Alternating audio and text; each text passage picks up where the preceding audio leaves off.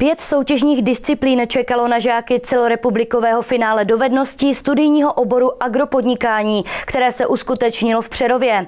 Soutěž se konala po 12. a měla prověřit znalosti studentů před maturitou. Putovní pohár nakonec zamířil do Bystřice pod Pernštejnem.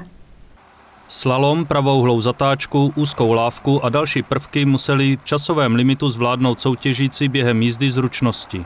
Především žáci mají za úkol tady tuto trať poradit pokud možno technicky, bez nějakých trestných bodů a v určitém časovém limitu. Dbáme hlavně na to samozřejmě, aby ta bezpečnost eh, při té jízdě s touto soupravou byla na prvním místě. Pro mě bylo nejtěžší v této soutěži přijet eh, lávku jenom předním kolem, protože mi to jednou silo.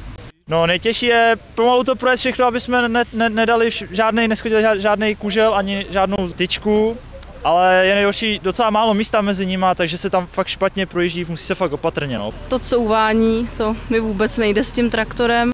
Dvoudenní soutěž, která skončila dnes odpoledne, prověřila znalosti žáků nejen po teoretické, ale i praktické stránce. Své dovednosti prokazovali v chovu hospodářských zvířat, pěstování rostlin, jízdě zručností, ekonomice a mechanizaci. Soutěž v agropodnikání čtvrtých ročníků se pořádá z důvodu generální přípravy nebo kontroly žáků na maturitu, jak jsou připraveni, jsou to vlastně vítězové jednotlivých školních kol.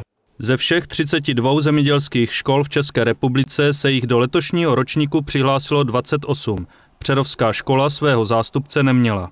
Žák naší školy nemůže soutěžit, protože e, ty pravidla, ta pravidla jsou nastavená tak, že žák školy, která to vyhraje, tak v příštím roce to pořádá. A bylo by nefér, protože on by znal ty pravidla, ty otázky.